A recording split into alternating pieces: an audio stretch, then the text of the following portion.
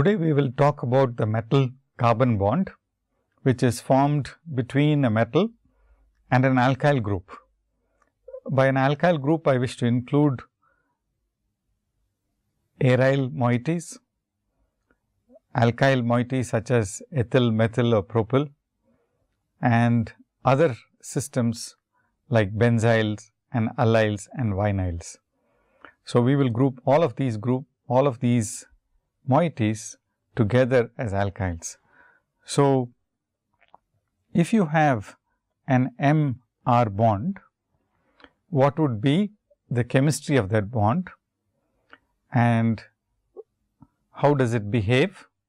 These are the things that we are going to talk about today.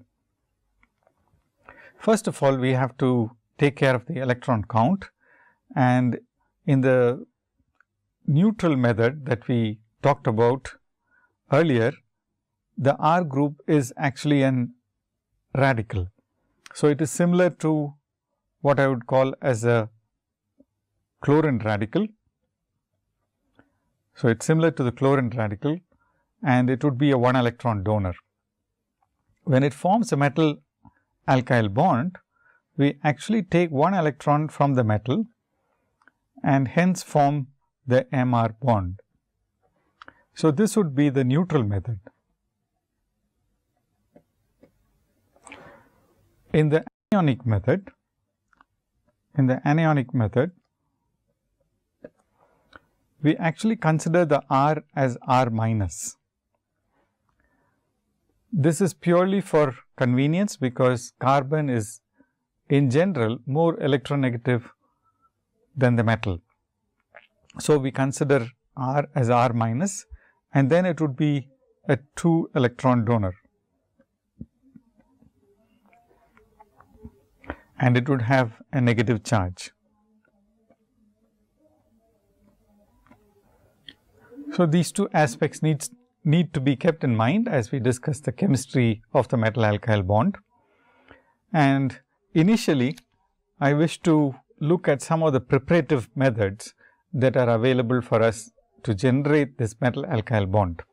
When we talk about metal alkyls, it would be ideal if we look at some of the methods that permit us to make the metal alkyl bond or generate the metal alkyl bond directly from the organic compound.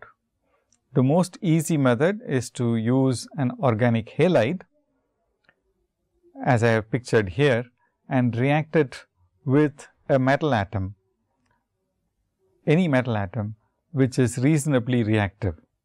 By reactive I mean it has to be electropositive enough so that the mx which is formed has got a very stable bond and the formation of mx actually drives this reaction from the left side to the right side.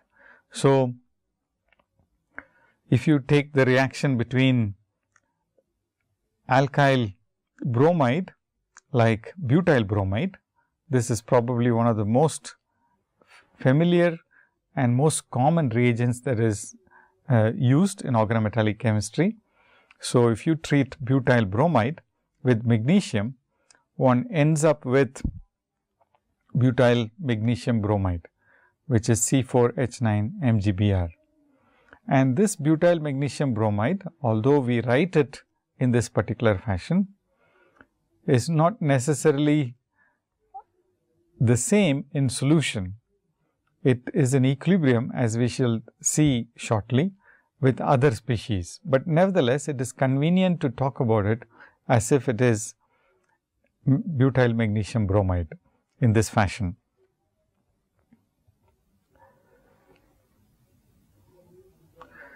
There is a different method that we can use in order to activate the metal.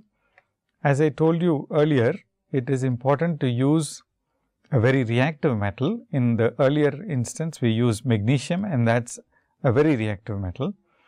We can also use an alloy or a metal that will promote this reaction, but not itself participate in the reaction. One very good example is the alloy that is formed between sodium and lead. So, sodium and lead form an alloy which is NaPb and this NaPb ligand an APV alloy will react with ethyl chloride to form tetraethyl lead. And this tetraethyl lead, when it is formed, it also generates sodium chloride. Since sodium chloride is a molecule which generates a lot of heat, it uh, is a very stable molecule. This reaction goes from left to right and forms tetraethyl lead.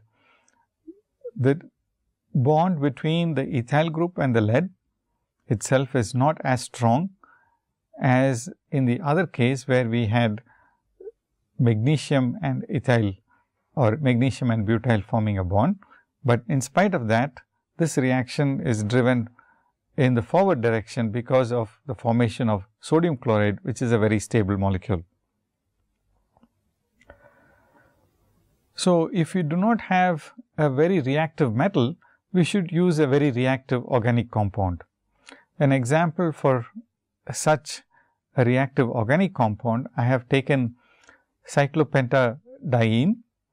Now, you know that cyclopentadiene is easy, easily ionized as H plus and C5 H5 minus and that is because the C5 H5 minus ion is aromatic and could be written with a set of delocalized bonds in this fashion with a negative charge. So, that is a very stable system and so the formation of this sodium organometallic which I have pictured here is very easy by directly reacting sodium with cyclopentadiene. To make sodium more reactive, one normally converts this into sodium sand. And this is purely a matter of convenience. One can heat the sodium and shake it up vigorously, so that it forms fine droplets and these fine droplets of molten sodium are extremely reactive and they react with C5H6 and liberate hydrogen and form this organometallic compound C5H5Na. Yet another method of making an organometallic compound starting with a reactive organic compound where there is an active CH. So, in all in both of these cases the presence of an active CH is presence of an active CH is what is important. Here we have a CH group next to a ketone and that is enolizable. So, acetone has an active CH bond next to the CO group and that is activated and it can be converted into an organometallic compound where there is a CHG bond and one needs to use this bis trimethylsilyl nitrogen compound tris trimethylsilyl compound which is attached to mercury and that is already a mercury 2 plus compound, but it exchanges with this active hydrogen in order to produce a carbon mercury bond. So, this is yet another way of making a metal alkyl bond fairly readily. These examples illustrate that you have a tendency for a C minus interacting with a metal atom and that is the basis for forming these metal alkyl species. Here there is a variation in this particular projection that I am showing you. You can use a metal carboxylate and if you heat the metal carboxylate because of the elimination of carbon dioxide, you will form a metal alkyl compound. And this is convenient because there are instances where you can generate metal alkyls which are otherwise difficult to make. Here is a mercury compound with a trifluoromethyl group attached to the mercury. So, it is bis trifluoromethyl mercury that is formed and that is here bis trifluoromethyl mercury. with because of the liberation of carbon dioxide this reaction is again thermodynamically favorable and it is driven to the right side and you have very good yields of a dialkyl mercury compound being formed. The reactions that we have pictured in this projection are all driven from left to right because of elimination of a volatile molecule like carbon dioxide or in the last instance it is dinitrogen and dinitrogen elimination leads to the formation of a aryl mercury bond in this instance and that is the elimination of nitrogen from arene diazonium salt. So, this is ARN2 plus Cl minus uh, and this molecule merely is transferring an aryl group to the mercury and you have the formation of a mercury 2 plus compound. So, during the process you also have an oxidation of the mercury from 1 plus to 2 plus. So, let us proceed further. The most common method of making organometallic compounds however, is a reaction called a transmetallation. In this instance, I have pictured a metal which is exchanging with position with another metal in an alkyl compound. So, you already have you already have a metal alkyl bond and you are merely, merely transferring this R group from this position on to this other metal. And so, M R is formed and this M dashed is liberated. Once again for a transmetallation reaction, you should have the thermodynamics right. And in the example that I have given here, you are transferring the metal from mercury to zinc. And because the zinc methyl bond is stronger, you have this reaction going from left to right and dimethyl zinc is formed in this process. And mercury is usually eliminated as liquid mercury which comes out from the reaction and can be easily re removed and you can have very pure dimethyl zinc in this reaction. Once again transmetallation is a process which you can use if you have a metal alkyl bond uh, which is formed from a direct reaction. In this particular reaction or transparency that I am showing here, you react a methyl lithium. The methyl lithium is formed from methyl bromide and lithium. And then once you have this metal alkyl, you can transfer it to a less electronegative, less electropositive element like antimony and you form an organometallic compound which is not possible to it is not possible to generate this antimony compound directly from a reaction of methyl bromide and antimony, but by this indirect method you first convert it to methyl lithium and then transfer the methyl group from the lithium onto the antimony uh, atom. Here is another example which is slightly different from what we have discussed earlier. And here I am going to transfer a butyl group. I am going to transfer the butyl group to a halogen and a phenyl group to the lithium. And because the phenyl lithium is what uh, has a better phenyl lithium interaction compared to the butyl, this reaction proceeds from left to right and you have elimination of butyl halide. Now, it is very difficult to break carbon fluorine bonds. It is a very strong bond and it is not possible to break it. So, you would have to use either a bromine or an iodine in order for this reaction to proceed fairly readily.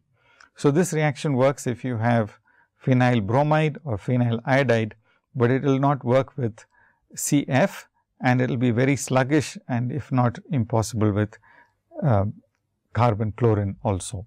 So, chlorobenzene and fluorobenzene are not good substrates, but bromo and iodobenzenes are good substrates for this particular transmetallation that we carried out. So, organic organotin compounds are extremely important in the industry. It is also commonly used in the laboratory and here is a transmetallation where we are carrying out a transmetallation between magnesium and tin and the group that is transferred is vinyl.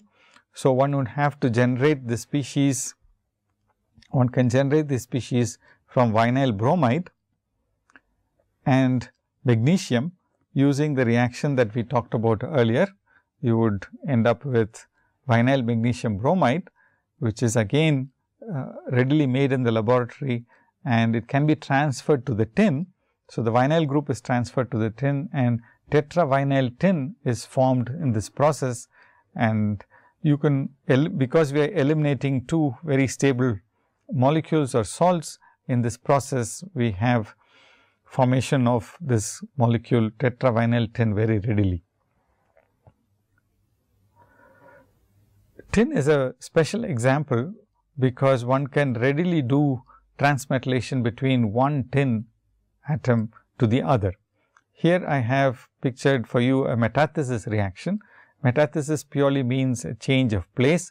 Transmetallation is also a change of place where you, the alkyl group changes place from one metal atom to the other. So, if you react R 3 SNCl with R SNCl 3, both are tin 4 species. Both are tin 4 species and you are merely exchanging an R group from one tin to the other.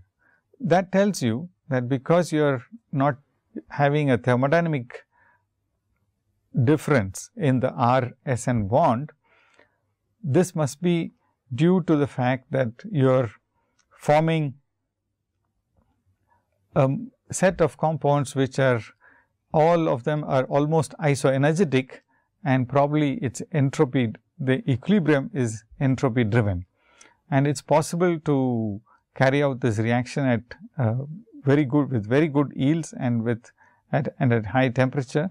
And R2SnCl2 is an important intermediate which is used in the stabilization of um, PVC, uh, what happens is you can use uh, tin chlorides, tin alkyls as molecules which will absorb hydrochloric HCl that is evolved during the formation of uh, making of PVC. You can also use it R2SnCl2 is also used for the stabilization or the formation of SNO2 on glass and tin oxide coated glass is a special glass which is very important in the industry as well. So, R2SNCl2 and R2SN are molecules which are reasonably accessible and fairly important in the literature. So, Mn2CO10 is a molecule which we have already encountered in the carbonyl chemistry.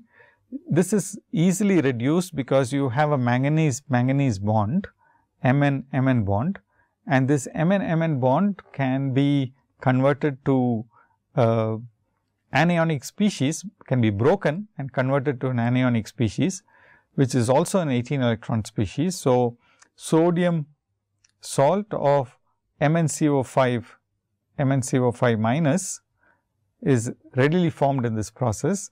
And this MnCO5 minus is a nucleophile and it can react with methyl bromide, it can react with methyl bromide and generate a ME MeMnCO5 species.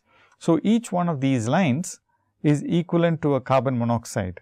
So, that is actually equivalent to a carbon monoxide attached to the metal and we have a methyl manganese being methyl manganese bond being formed and you also have in this process sodium bromide eliminated.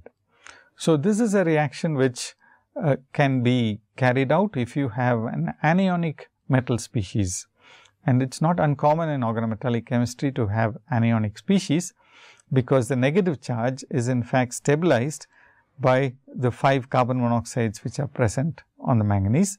They can accept electron density and stabilize the negative charge on the metal. So, we have looked at a variety of preparative methods for the metal carbon bonds. Most of them are the main group compounds that we have considered and many times it is convenient to make a main group organometallic or metal carbon containing species and then transfer it to a transition metal. In general, it is known that the metal carbon bond is as strong as an Mi bond. A metal iodo bond is a good indicator, the strength of the metal iodo bond is a good indicator of how strong a metal methyl bond would be. That is also similar to what one encounters for the average metal carbonyl bond strength.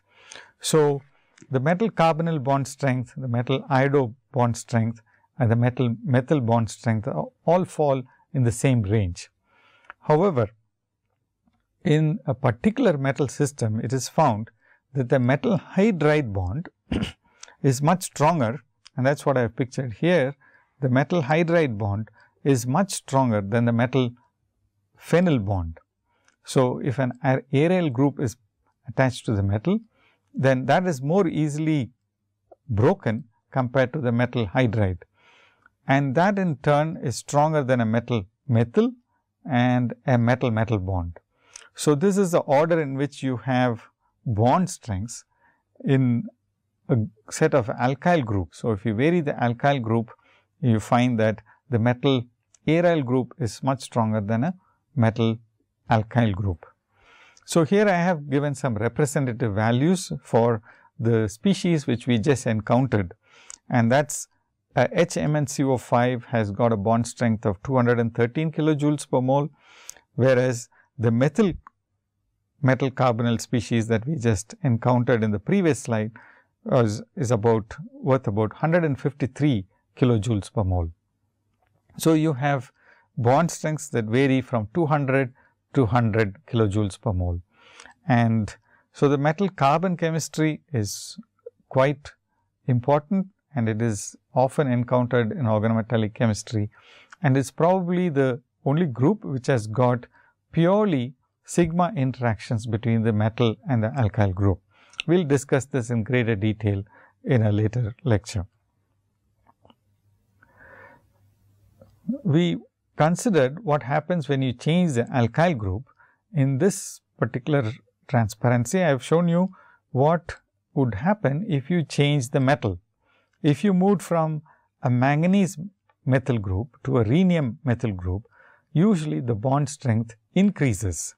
So, this is a 3D element and if you go down the group manganese, technetium and rhenium. So, you end up with a very strong, very strong metal alkyl bond strength.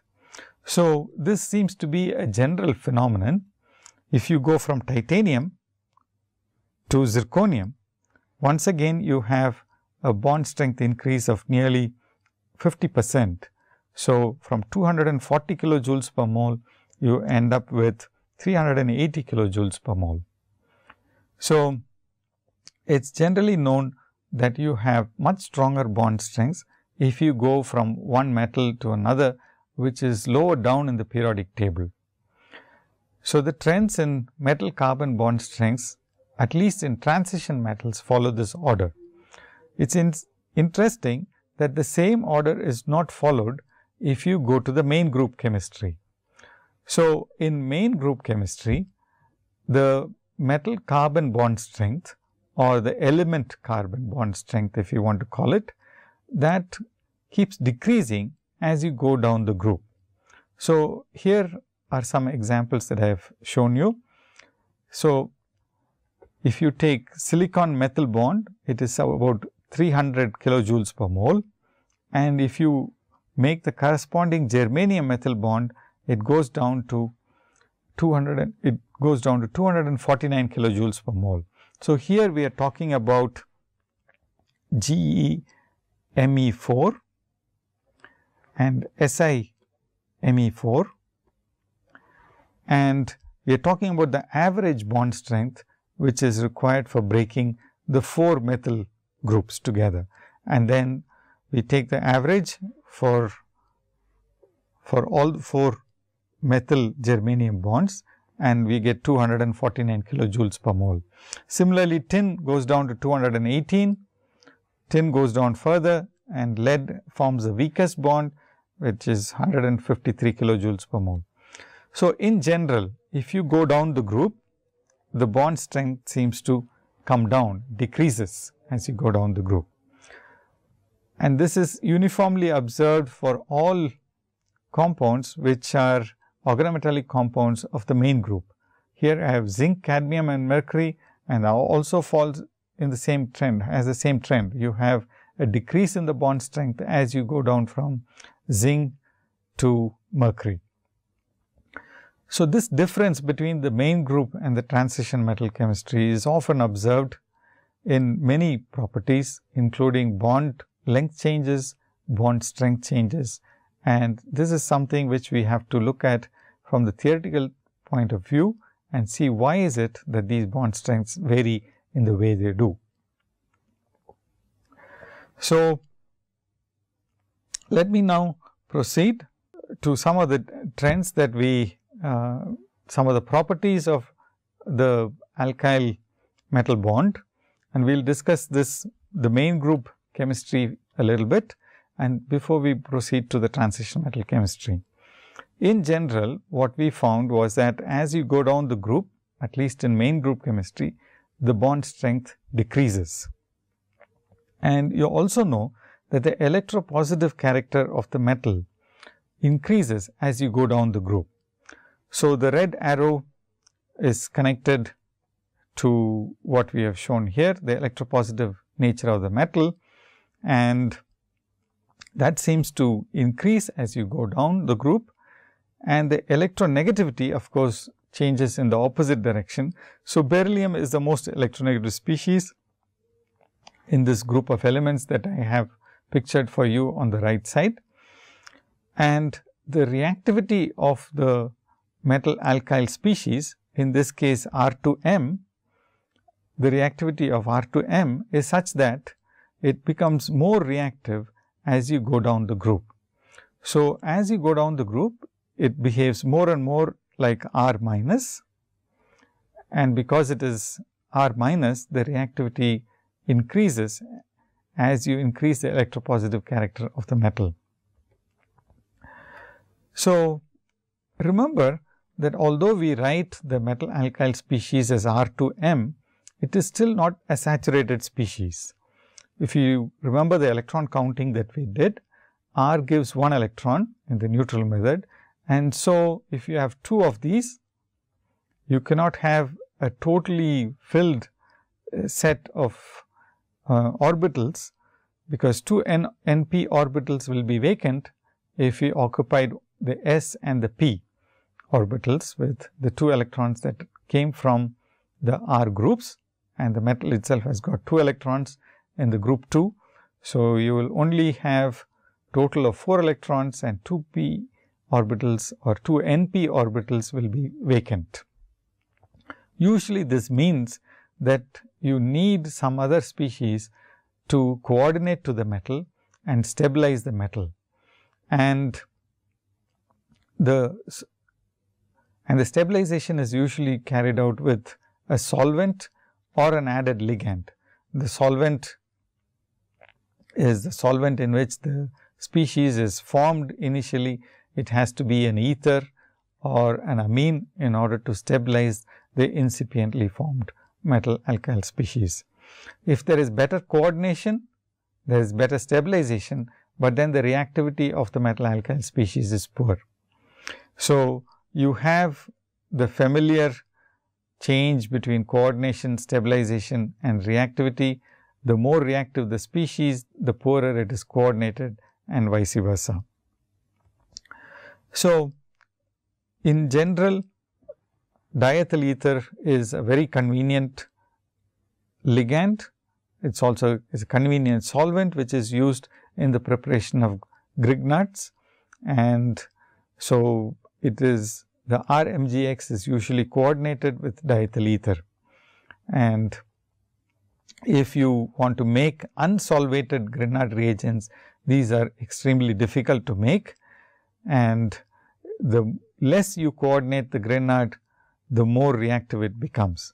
But there is also a, a trend in the R x group when you make R i, then the, the R x tends to be more reactive and the Grignard is more readily formed. So, here we are not talking about the reactivity of the RMGX, we are talking about the facility with which RMGX is formed. For a fluoride, it is very, very difficult to form a Grignard reagent, whereas with an iodide, it is very easy to form the Grignard reagent. And with fluorine, as I said, it is almost impossible to break the CF bond and that is the reason why it becomes so difficult to make the fluoro Grignard. Now, let us take a look at a little bit about Grignard reagents and the problems associated with Grignard reagents.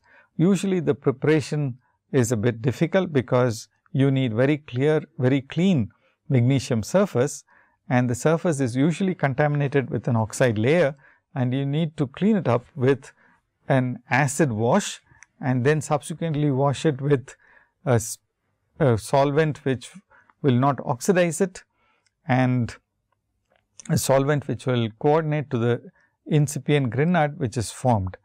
And as I have told you earlier, the X group affects the reactivity of the Grignard reagent as well. So, now let us look at the the other problems which are associated with Grignards. I had mentioned this earlier, but although we write RMGX as the species which is there in solution. This is the species which we usually write as the species available in solution, but it is in equilibrium with R2M and MX2. And this makes the reactivity of the species change in the presence of added MX2. You can change the you can change the reactivity of the solution by adding some MX2 to the solution. So, uh, you can change this equilibrium position by adding one of these compounds and you can change the reactivity of the species. In many cases, people try to remove the MX2 from, from the solution, so that more reactive species can be obtained. And although this is possible, it is possible to make a Grignard reagent in an alkane solution where the MX2 has precipitated out. It is in general more reactive and it, because it is more reactive, it tends to decompose very readily. And so, its shelf life goes down as you remove the ether and replace it with an alkane. So, there is another complication that is associated with Grignard reagents and that is the fact that you can observe radical type reactions in Grignard reactions, Grignard reactions sometimes. And once again, this is associated with the equilibrium that is present in solution. RMGX is the usual species that we think about as being present. RMGX is the species that is present, but it can dissociate or be in equilibrium with a radical species R dot. So, this R dot can accept an electron from MgX and form Rx minus as well and um, Mg uh, plus dot. So, a variety of species can be present in solution. This is in general this is not a common occurrence, but it has been noticed that if you have radical species in solution, the radical character of the Grignard reagent is enhanced and you can in fact promote radical reactions by adding species like oxygen, uh, then you would induce radical like reactivity and the radical can be trapped. So, R dot is a radical that is generated in solution and can be trapped with the TEMPO and an OR bond is then formed. So, OR bond is formed because the R dot reacts with TEMPO to form the species. So, let us proceed further. Uh, I talked about Grignard reagents being one of the most common reagents and it is easy to make it in the laboratory. But some species are difficult, some alkyl bromides or halides are difficult to make and so one has to start with the alkyl chloride or an alkyl fluoride and in that case it is very difficult to make the Grignard reagent. So, it was discovered by Rieke that the magnesium which is usually used as a powder or magnesium is used as a metal ribbon, this magnesium can be activated further by a special process. And this very reactive magnesium is generated in situ by reducing the magnesium chloride with potassium and THF. When at the reflux temperature of THF, potassium actually dissolves and or melts and forms a metal globule and that metal globule reduces the magnesium chloride and forms a black magnesium powder and this black magnesium powder that is formed is extremely reactive. So, this is a, a pyrophoric powder that is formed by reduction of magnesium from magnesium 2 plus using very reactive potassium. So, this is called Rieke magnesium and it has uh, some very interesting properties apart from the fact that it is not a shiny metal, but it is a black powder and it can catch fire when you expose it to air.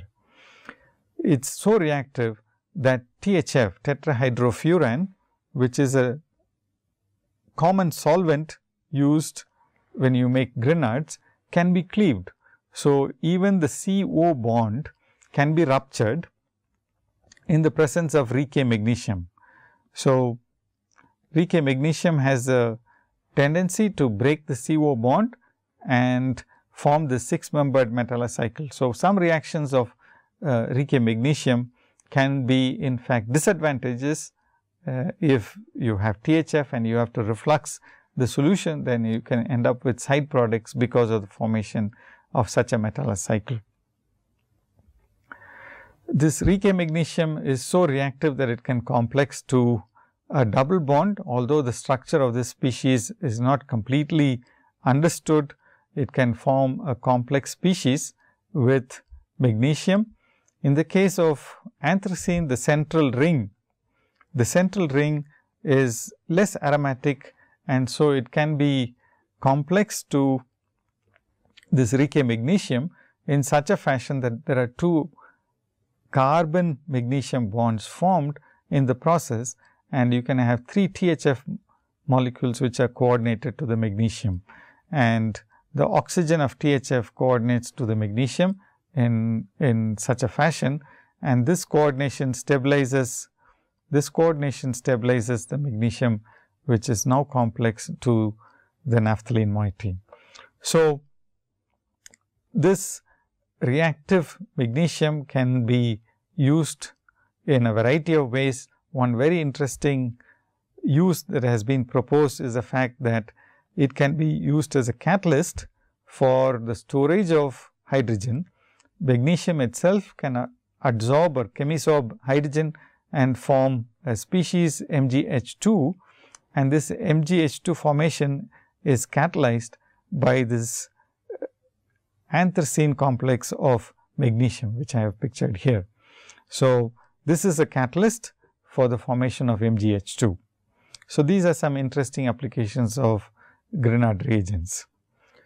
Let me now move on a little bit towards the about the structures of metal alkyl complexes.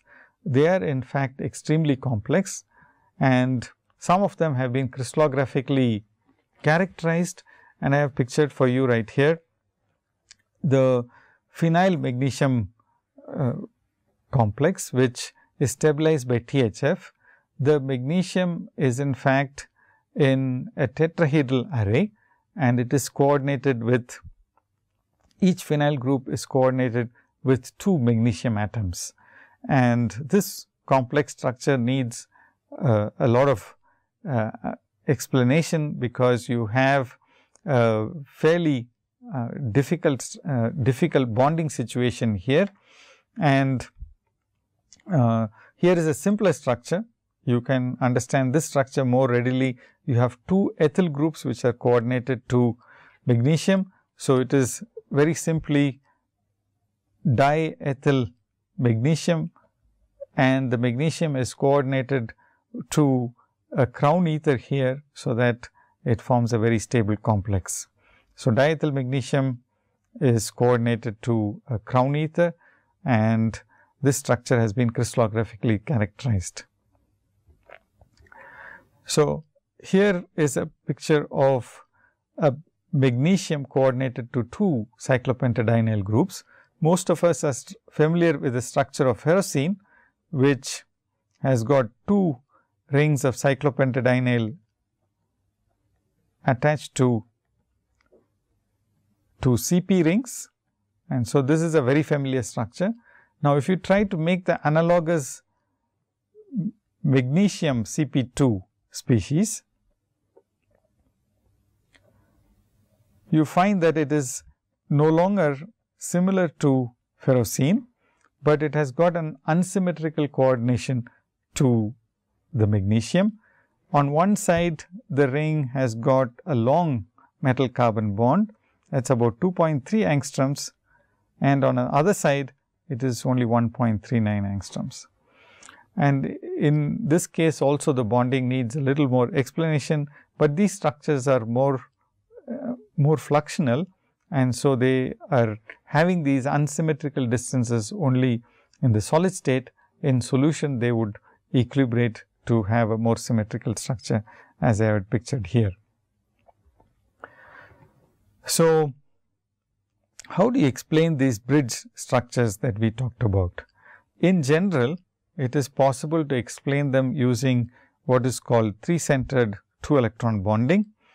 Uh, suffice it to say at this particular point that if you have a phenyl group with two electrons, you have a phenyl group with two electrons and you have two empty orbitals which are coming from the metal. These are the two empty orbitals from the metal then you will end up with a system which will have 3 orbitals and 2 electrons. And these 3 center 2 electron bonding interactions are very, very popular or common in main group organometallic chemistry. So, there are only 2 electrons and 3 orbitals which are interacting. Let me now move on to uh, some other species. It is possible in the case of aluminum to react aluminum and RX directly. And in the case of mercury also it is possible to make these uh, molecules with uh, dimethyl mercury and so on. And it is interesting that whereas aluminum would form AlR3 species which are bridged and appear to be reasonably covalent, you have most of the reactions of an al the alkyl group attached to the aluminum as if R is behaving as an R minus group. So, in many instances you can have R minus behavior for the ALR3 group. Whereas, in the case of mercury, the species is more or less covalent and what is more surprising is the fact that they have a very large energy difference between the methyl mercury methyl mercury bond in the first dissociation it costs about 214 kilojoules per moles, whereas the second bond is only costing about 29 kilojoules per mole when you decompose the GME. Okay, let me now proceed to transition metal alkyl compounds. Transition metal alkyl compounds are very often easily generated starting with an already made main group organometallic species in this projection, I have shown you a benzyl magnesium chloride reacting with zirconium tetrachloride and that makes tetrabenzyl zirconium species. This tetrahedrally coordinated zirconium has got 4 benzyl groups around it and it is quite stable. And similarly, you can make the titanium species starting with a transmetallation reaction between aluminum and titanium. And since the aluminum chlorine bond is much, much more stronger than the titanium chlorine bond. So, aluminum chlorine uh, bond is formed on this side So, aluminum chlorine species is formed at the expense of generating a methyl titanium bond. So, if you mix appropriate amounts of TiCl4 and Al2Me6, you will end up with METiCl3.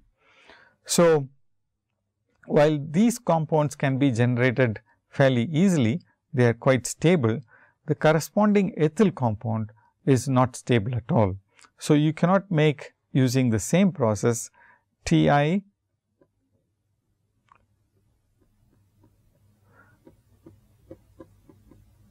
ethyl group attached to the titanium, this corresponding compound is not stable at all. So, this needs a little bit of thought, because the initial understanding was that maybe the titanium transition metal alkyl bonds are uh, weak and uh, it was only after the thermochemistry was carried out it was realized that the metal carbon bond is not weak at all. In fact, it is quite stable. Here we have several bond energies pictured for us here. The metal carbon bond can be as high as 300 kilojoules per mole and uh, uh, as I have told you earlier, if you go from titanium to zirconium, you have an increase and you have two groups here which are pictured and in both cases the bond strength turns out to be quite large. Tungsten, hexamethyl tungsten is in fact a special case and we will discuss this uh, little later if we have the chance to discuss the tungsten uh, methyl hexamethyl tungsten compound which has got a fairly unique structure.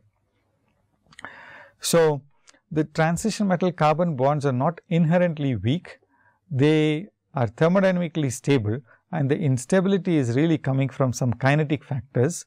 They have a reaction channel which allows them to decompose very readily.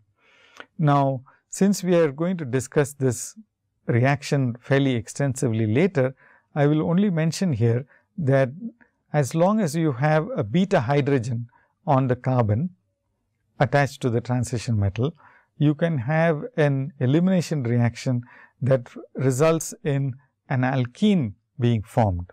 So, if you have a transition metal with an alkyl group, which has got a beta hydrogen. So, this is the alpha hydrogen and this is the beta hydrogen and this is a transition metal alkyl bond. If you have a beta hydrogen, then this beta hydrogen has a tendency to interact with the transition metal and this interaction has been called this interaction has been called the beta agostic interaction. You can also have in a few cases an alpha agostic in interaction as pictured here, but this is much rarer than the beta agostic interaction that is pictured here. So, it is possible for the beta agostic interaction to lead to a decomposition reaction and this can lead to a decomposition reaction in which the transition metal forms a olefin and a hydrogen. This is a reaction which we are going to discuss much later. But how do we know that this weak interaction is present in these compounds? Usually, you end up with unusual bond angles between carbon and hydrogen and these unusual bond angles have been consistent with the interaction that we just talked about. So, short distances between the metal and the hydrogen. So, metal hydrogen short distances can be responsible for or can be used as evidences for this weak interactions. You also have NMR. In NMR, you can have this weak interaction can cause a different chemical shift and uh, it is also possible to have if you have a crystal structure you can see that m h distance is shorter than what you would expect. So, what makes them have weak interactions or agostic interactions? It is usually the deficiency in the electron count around the metal and the CH bond is actually functioning as an electron donor. So, how do you avoid these agostic interactions? There seems to be only one way to avoid agostic interactions and that is to avoid the beta hydrogen bond. And that is why very often one can form very strong metal alkyl complexes if you have no beta hydrogens. Some examples are given here. It is not so difficult to generate them. You can have a CH2 CF3. The CF bond is very, very strong and cannot be broken. So, if you do not want a beta hydrogen, you just replace them with fluorine or with methyl groups. So, here is a instance where the beta hydrogens have been replaced with a methyl group. You can also replace the beta methyl group or the in the alpha position you just replace the methyl group with a C6H5 moiety, then also you do not have a beta hydrogen.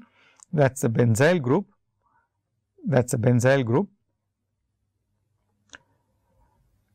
And you can also have just a methyl uh, on the transition metal. One very interesting way to avoid the beta hydrogen is to make it a bridgehead. So, you can have a transition metal which is coordinated to a bridgehead and that is what we have uh, shown in this uh, in this particular instance. So, you can have zirconium with 4 norbornyl groups and that forms a very stable moiety. And because you cannot form a double bond at a bridgehead, so you cannot form these bonds, it is difficult to form double bonds in the bridgehead, then it becomes unstable. So, transition metals complexes which have got a carbonyl group is quite uh, quite stable and you can observe them. So, what we have seen in this lecture today is a fact that metal alkyls are in fact quite strong and you can make them fairly readily directly from an active CH bond containing organic compound or you can use a CX bond to generate the metal alkyl species. Once you make the metal alkyl species using a very electropositive metal and this turns out to be in this case lithium, magnesium or aluminum. So, if you have a very electropositive metal, you can use the CX bond or an active CH and generate a metal alkyl species and then you can transfer them to a transition metal. So, from these electropositive elements you can transfer the alkyl groups to the transition metal. And once you make them you realize that you can have a reactivity that is dependent on the type of species they form. There are many instances where the species can be in what is called a Schlenk equilibrium. Especially in the case of Grignards, you can have a Schlenk equilibrium that changes the reactivity of the species. The in general, the metal alkyl species, especially Grignards, can be stabilized with coordination of an ether molecule or an amine and that makes them quite stable and less reactive. Metal alkyls occasionally generate radicals. They occasionally generate radicals and so one has to watch out for radicals in solution, because the presence of radicals in turn initiates radical type reactions. We also discuss the bond strength variation in main group chemistry and in transition metal alkyls. We found that for transition metal alkyls, as you go down the group, the bond strength increases, whereas for main group elements, the bond strength of a metal alkyl moiety decreases. So, this anomalous behavior has to be kept in mind when you look at the chemistry of metal alkyl species. In the case of transition elements and their alkyl compounds, we have kinetic instability. This kinetic instability is because you have a beta hydrogen, we can have agostic interactions of the beta hydrogen with the transition metal. And that in turn leads to instability or decomposition pathways. And so it is difficult to make transition metal alkyls with a beta hydrogen unless they are having a saturated metal center. Lastly, we encountered this 3 center 2 electron bonding in many situations. And you can also have 3 center 3 center or a 4 center two electron bonding as well. So, 3 center 2 electron bonding and other interactions, complicated interactions tend to make the structures of metal alkyls fairly interesting from the theoretical standpoint. So, metal alkyls are fundamental in organometallic chemistry and are used extensively and we will look at some of the chemistry in future lectures.